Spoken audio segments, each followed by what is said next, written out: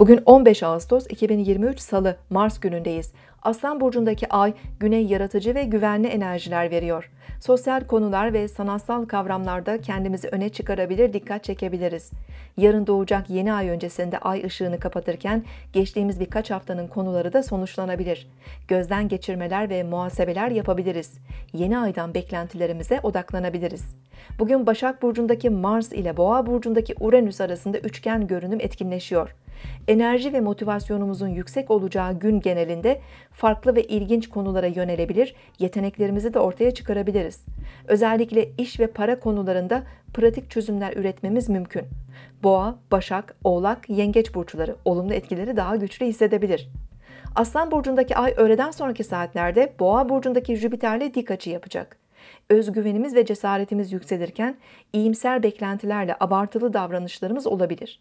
Maddi manevi her alanda fazla risk alabiliriz. İştahımız artabilir, para harcarken müsrif olabiliriz.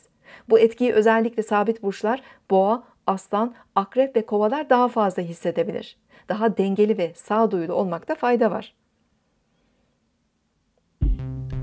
Siz de şimdi kanalımıza abone olun, yorumlar bölümüne sorularınızı yazın, sürprizlerimizden haberdar olun.